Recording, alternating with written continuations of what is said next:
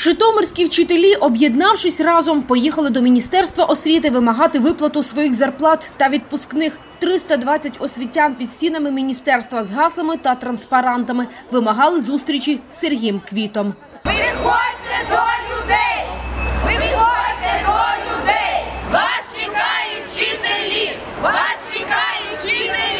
За півгодини до вчителів таки вийшов заступник міністра освіти та науки, керівник апарату Олег Дерев'янко. Чоловік вмовив освітян не йти до Кабміну, залишатися на території Міністерства освіти. Він пообіцяв, що на засіданні кабінету міністрів, яке проходило одночасно, їх питання точно вирішиться. Попросив чекати. Олена Мосійчук впевнена, що саме їх приїзд змусить уряд прийняти вірне рішення, і у подальшому всі виплати працівникам освітньої сфери платитимуть вчасно. Ми на роботу вчасно приходимо. Учні сидять в класах, е, ми приходимо, вони до нас приходять, а ми не, не прогулюємо роботу. Тому, будь ласка, якось також оплачуйте. Хоч ці копійки, це ж не зарп... ну, за ці гроші сьогодні не виживеш. Ми не хочемо бути приниженими, е, от і ми не будемо з цим миритися. Перший крок такий спокійний, поки що хочемо е, показати свої проблеми і що вони є.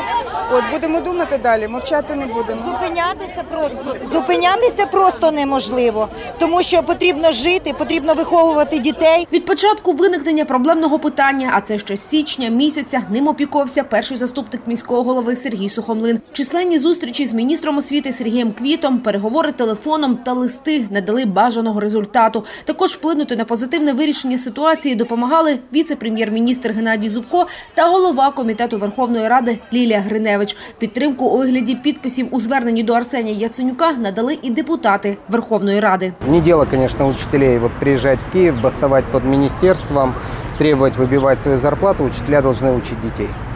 Но если э, такое количество обращений, такое множество писем ни к чему не производит, поездки в министерство, поездки в кабинет министров ни к чему не производит, у людей не остается выхода, как приехать и попытаться достучаться с плакатами, с, с звоночками, пытаться достучаться до тех людей, которые должны э, на своей должности отвечать за в- э, вовремя выплаченную зарплату. Поки освітяни Житомира чекали на рішення, у актовій залі Міносвіти у Кабміні шукали гроші для того, аби задовольнити вимоги освітян. Адже це проблема не тільки Житомирського регіону. Сейчас уже сказали, что департамент финансов министерства нашел, уже изыскал у себя 196 миллионов.